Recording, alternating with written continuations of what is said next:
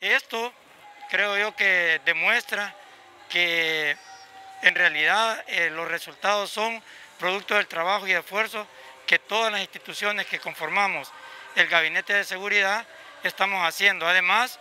de la integración del resto de ministerios e instituciones del gobierno. Puso en marcha el Plan Control Territorial el 20 de junio del año pasado, eh, estuvimos recorriendo estos sectores, luego por lo de la pandemia eh, que se cerraron,